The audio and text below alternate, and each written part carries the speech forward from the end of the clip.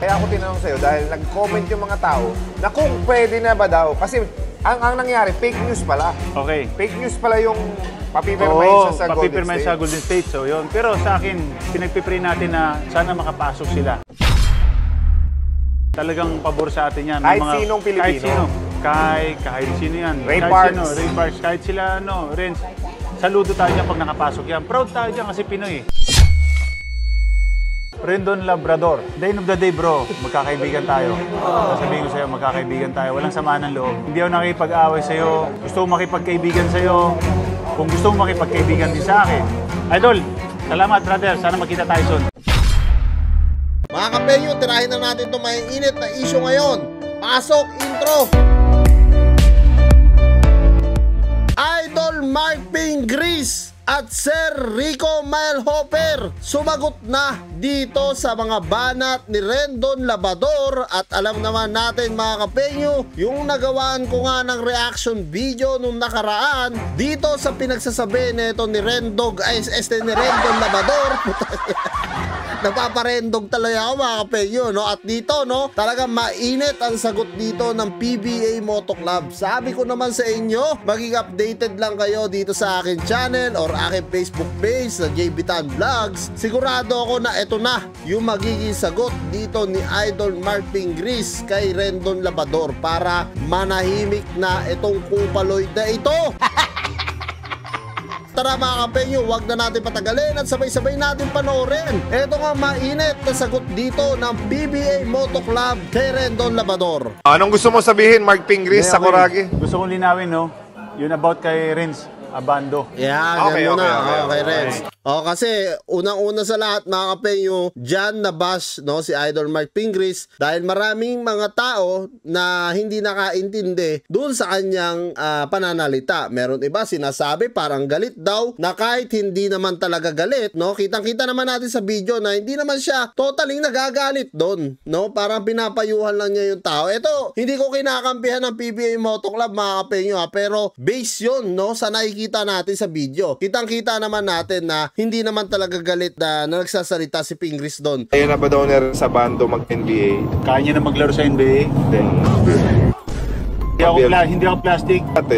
Kasi sa NBA, kailangan malakas. Parang ah, nagbibigay payo lang siya kasi tinatanong siya ni Rico eh. Natural, sasagot siya, 'di ba? Na misinterpret ka, na, nakita ko yun. Maraming, maraming nagagalit sa akin. Maraming nagsabi na nagbaba sa akin na naiingit daw ako sa kanya. Ah, dahil hindi ko daw ah. kaya mag-NBA. Yes. Unang-una po, idol ho natin yan. Pangalawa, tinanong lang ako ni Rico. Tinanong niya ako kung pwede na bang mag-NBA ngayon. Tama, tanong mo sa akin, pwede na bang mag-NBA Ang ngayon? specific, sabi ko, Ping, pinapatanong ng mga tao, Kung pwede na ba ba- mag-NBA? pwede na kaya si Renz Sabando maging NBA, NBA player. player? NBA Ang sabi ko player, naman, yes. hindi ako plastic. Sa ngayon, hindi pa. Oo. Ngayon, pag pumasok ka ng NBA, makapaglaro ka? No, hindi po. Promise. Hindi, pangit din kasi na pumasok ka sa NBA, tapos hindi ka rin naman maglalaro, nasa bench ka lang, Ang di ba? sa akin lang ho, 100% ready talaga si Renz. Kasi ibang ibang laro ho dyan. Nakapag-training na po ako sa LA dati nung 3 months. Ka-training ko mga ano, mga NBA, mga NBA player. Alam mo, mahirap yung ginagawa nilang mga training. Eh bakit yun iba? Payat naman pero nakapag iba ho yun ano nila. Ginagawa nila everyday compare sa Galawan. mga ginagawa, mga ginagawa natin. So, hindi ko po ibig sabihin na hindi pwede mag-NBA si Hindi natin siya ngayon minamaliit. lang, oo. Ang sabi ko sa ang sabi ko sa interview ko, dapat mag-work hard muna siya. Kunin niya lang yung mga sistema sa laro sa Amerika Oo. and then go. So yan ha mga kapenyo, rinig na rinig natin kung paano sinagot ni Idol Mark Pingris etong issue about kay Renz Abando na kung saan pinabulaanan niya na ayaw niya maglaro sa NBA etong si Renz Abando. Hindi po yon yung ibig sabihin dito ni Idol Mark Pingris. Sinabi ko naman sa inyo mga kapenyo na based on experience ni Mark Pingris, natural na nagpapayo siya dito sa bata kay Renz Abando na kung saan alam naman natin na si Renz Abando Eh malayo pa talaga ang kanyang mararating. Dahil nakikita natin o makukumpara rin natin kay Michael Jordan etong si Renz Abando. Sa totoo lang. Real talk po yan. Ang sinasabi lang dito ni Idol Mark Pingris, eh more on ano pa no, more on na pag-igihin pa niya yung kanya experience. At syempre hard work na doon din yan. Dahil si Pingris kasi mga kapenyo na experience niya na eh no? Kumbaga alam na niya bilang isang veterano sa atin sa bansa natin sa Pilipinas eh kumbaga ah, mas gusto pa niya na mag-improve palalo ng mas matindi dito si Renz Abando Naglabas po kami ng reaction video tungkol kay Renz Abando 2 weeks ago. So ito panoorin natin yung kay Renz Abando no bago dito kay Rendog Labador mga kapenyo. Ano masasabi mo sa chance niya maging Golden State Warriors? Ano yan? Nakaka-proud yan. Proud talaga, bro. Ah, pero Oo. na-meet ko na si Renz sa personal. Mabait yan, mabait. Mabait, mabait ang bata. Mabait na bata. Humble. Yes. Marami pang pagdadaanan to. 23, 24, mga ganun pa lang. Alam mo, Bata sa totoo lang, bata yung mga magandang kasabayan ni Poy Poy. Oo, no? Oo, Pag si sa Poy Bando, sobrang proud kami sa'yo kasi first time ka lang sa Gilas naglaro talagang pin- pinatunayan mo na ah, karapat dapat ka maglaro dyan. For me, paghirapan mo pa yan, wag lalaki ulo mo. Kung meron ka man mga kontrata ngayon, mag-ipon ka para sa future mo. Para sa O, kita nyo na mga kapengyo ha. Doon sa mga nambabas kay Pingris, mag-isip-isip kayo ha. Kita nyo, September 10 pa yan, 2023, yung ah, kanilang video na to na kung saan sinasabi dito ni Pingris no, na habang bata ka pa rin sa bando, mag-ipon ka. So, magtataka ka dito sa ibang mga kupaloid no, katulad na lang nito ni Rendog Labador. na bakit niya sinasabi dito na inggit, no? Etong si Mark Pingris. Bakit naman may inggit yung tao? Eh, mataas na rin naman yung naabot niya.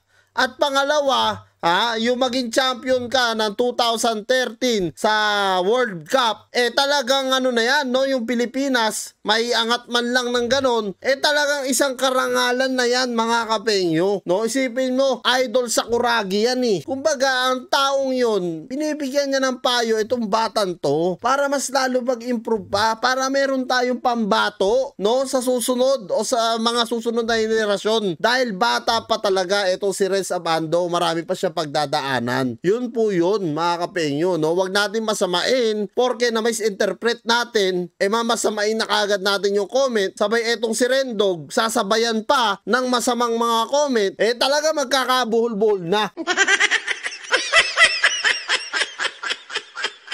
Di ba? sa future ng family mo. Kasi ang basketball, bro, sandali lang yan. Sandali lang. So, dapat importante makapag-ipon. Yun lang yung payo ko sa'yo. At saka, wag mababago yung attitude mo. Makisama ka sa mga player. At sumama ka sa mga player na magagandang attitude. Wag kang sumama sa Oy. mga bad attitude. Pwede sa Yes. PBA Moto Club yan. Pagkatapos mo sa basketball, Renzo Abando, nakabang lang PBA Moto Club sa'yo. Oh, kita nyo na mga kapengyo ha. Sinabi pa rito ni Sir Rico, no, na nakabang lang ang PBA Moto Club sa'yo, Renz Abando, no. Kumbaga, welcome ka talaga sa kanila. Pero dito, meron din silang joke dito. Hindi na kami mga kuya, mga lolo na kami. Kasi alam naman natin, no, kung ilang taon lang talaga si Renz Abando, batang-bata pa talaga mga kapengyo. Matalayo pa yan. Lolo na tayo. Lolo na nun. Kasi proud tayo dyan pag nakapasok ng mga to eh. Si Ren, si, Oo. si Kai, pag nakapasok ng NBA to, bakit? Siyempre, dala nila yung Pilipinas eh. Di ba? Yung Tama, totoo nila, yan, yung totoo. pagka-Pilipino nila. So, Ba't may inggit, mga di ba? Pilipino. Kaya ako tinanong sa'yo dahil nag-comment yung mga tao na kung pwede na ba daw. Kasi ang, ang nangyari, fake news pala. Okay. Fake news pala yung papipirmahin siya sa Golden papipirmahin State. sa Golden State. so, Ah, yun. Pero sa okay. akin, pinagpipray natin na sana makapasok sila. Talagang pabor sa atin yan. Kahit sinong Pilipino. Kahit sino. Kai, kahit sino yan. Ray kahit Parks. Sino, Ray Parks. Kahit sila, ano, Renz. Saludo tayo dyan pag nakapasok yan. Proud tayo dyan kasi Pinoy. Di ba? Totoo. Tanungin mo si Ping. Okay, kita nyo na ha, mga kapengyo. ha, Rinig na rinig na dalawang tenga natin. Mark Pingris, no? Sinabi niya dito, ha, sa interview ni Sir Rico, no, na proud tayo kasi Pinoy. Tap, Tama, tapos sasabihin ng iba na iinggit si Idol Mark Pingris. Saan banda, mga kapengyo, di ba? Ay, nako, mga tao talaga. Reese, kung kaya niyang bantayan si Kobe Bryant. Oh, ito na, ito si Abang talaga, oh. Kung kaya mo bantayan si Kobe Bryant, Oo. eh, may lamang kayo sa Oh, kita Bro, na. Rendon Labrador. The end of the day, bro, magkakaibigan tayo. Sasabihin ko sa'yo, magkakaibigan tayo. Walang samaan ng loob. Hindi ako nakipag-away sa'yo. Gusto mo makipagkaibigan sa'yo. Kung gusto mo makipagkaibigan din sa akin.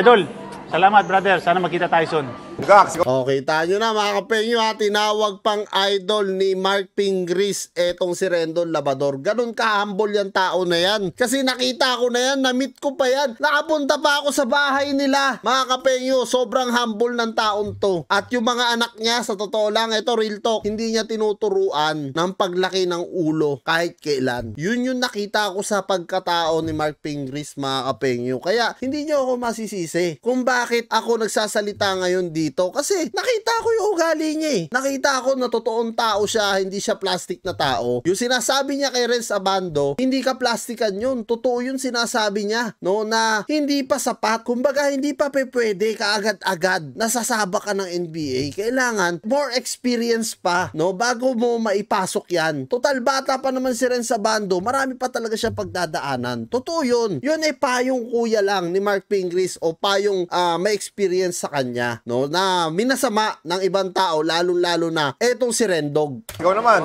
Roy Rendo. Eto si Gako, puta, Walang matindi to. galang na sa'yo ah.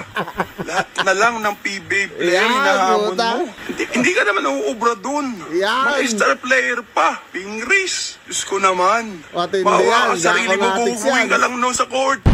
PBA player. Gusto mo, sayang ka na lumaban. Yan. Medyo mas pa tayo. Hindi ako kalakihan. Mas na mas tayo, pare. Para, para matapos na to, sabihin mo lang kung saan, kung kailan. Pati si Rico, hinahamon mo. Si Rico lang naman, ang Rookie of the Year sa PBA, hindi mo kilala? Para matapos na to, one-on-one tayo, sabihin mo lang kung saan.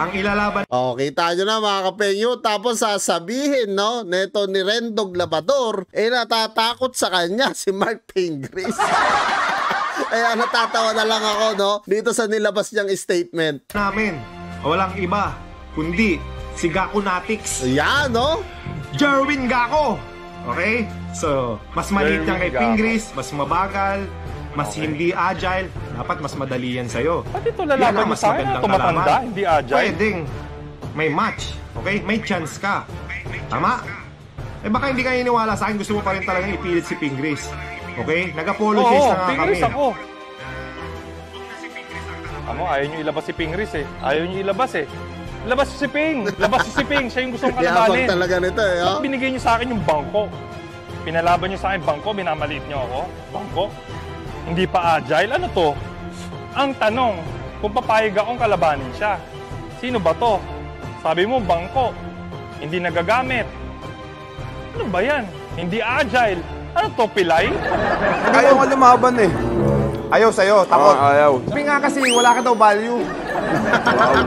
Yan na may value. Yan na may value. JJ natatawa. Oo, yan. Totoo yan sinasabi ni Gako Natix, no? Kung talaga magaling ka rin doon, sumali ka sa draft, no? Ng PBA. Tingnan natin kung makapasok ka, di ba? Doon pa lang, sigurado na. Ah, ano sabi mo, sabi mo kanina? Oo. Hawakan mo to. Si JJ. Alam nyo, sa totoo lang mga kapeyo, hindi talaga yan mahilig no, si JJ sa mga issue-issue ganito. Kahit noon pa man pinapanood ko PBA Moto Club Team Amazing. And nakikita ko talaga si JJ yung taong hindi siya mahilig sa mga ganyang ano. Alam mo yun, yung mga issue-issue. Pero syempre nga naman mga kapenyo, sila Sir Rico, sila Idol Mark Pingris, sila Gaku. Sumagot lang to mga kapenyo. At totoo, Totoo yung sinasabi ko nung nakaraan. Isang taon na mahigit na hindi na nila pinapansin itong si Rendog Labador. Kung hindi naglabas ng statement to, hindi naman gagawa ang PBA Moto Club ng ah, sagot dito kay Rendog Labador. Kumbaga, syempre ayaw din nila no na dinadown sila ng kung sinong tao lang, lalong-lalo na isang Rendon. Sino ba si Rendon? Nag-PBA ba yan? Ah, nakapasa ba yan sa draft? ba? Tapos mamaliitin mo yung ah, isang PBA legend natin. ba? Kahit man ako siguro, mapapasagot talaga ako mga kapenyo. So anyway mga kapenyo, maraming maraming salamat dito sa panonood nyo sa panibago kong reaction video. At kung kayo tatanungin ko mga kapenyo, ano nga masasabi nyo dito sa mainit na banat ng PBA Moto Club, lalong lalo na si Idol Mark Pingris. Comment nyo down below lahat ng mga opinion nyo mga kapenyo at lahat-lahat po yan mabasa ko. Maraming maraming salamat mga kapenyo at kita-kita na tayo sa susunod kong reaction videos.